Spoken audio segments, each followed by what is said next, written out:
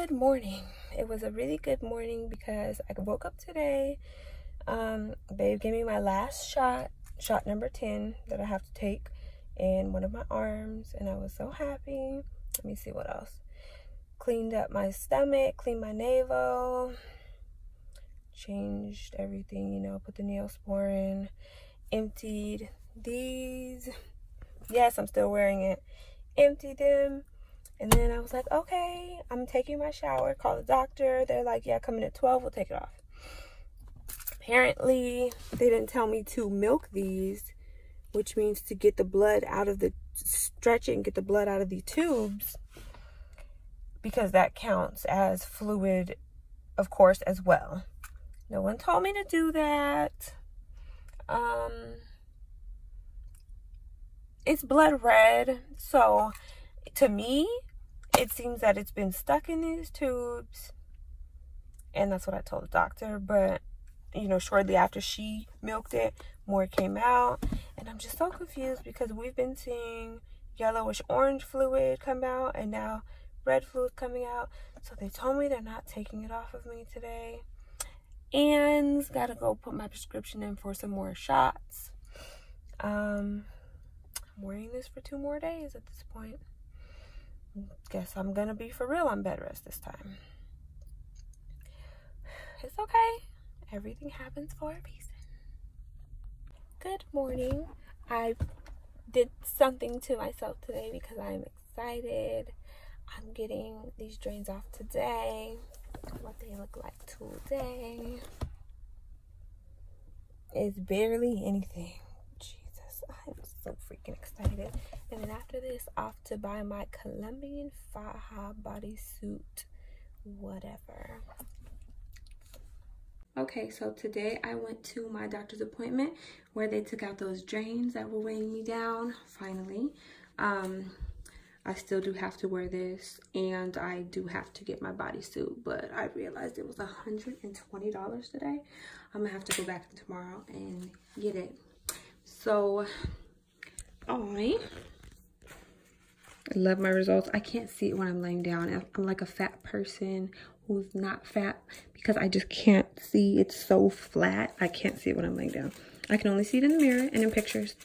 Um, and it's still very numb. And it feels so good. I still have tape on me.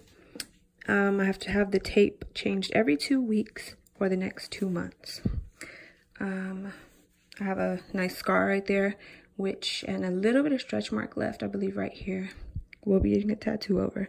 Gotta clean my belly button twice, not clean it, give it some Neosporin twice a day, but um, I'm liking the results. I'm really loving it. So I'm about to clean my belly button and, oh, so when they pulled out my drains, the doctor said, she said, okay, you're going to take a deep breath. I had two drains connected to me somehow. It happened while I was under anesthesia and surgery. So I had two drains inside of me.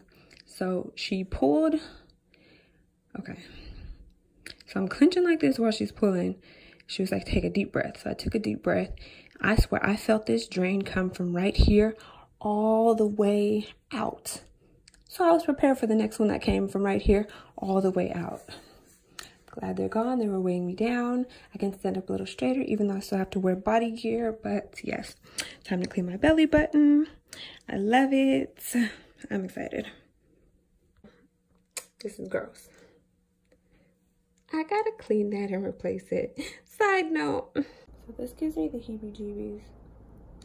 There's a hole now for my actual belly button past the scar, but it's a hole. Ew. If it were, ew, that, that is so nasty. If this were a regular cut, I would pick the hell out of it, but can't touch it.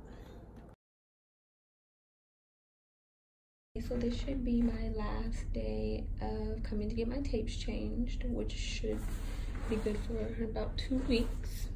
Um, I am very excited.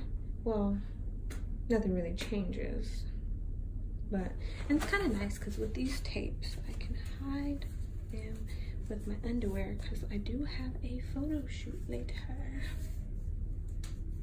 so they can be hidden but um they're very low and I'll show you my scar shortly.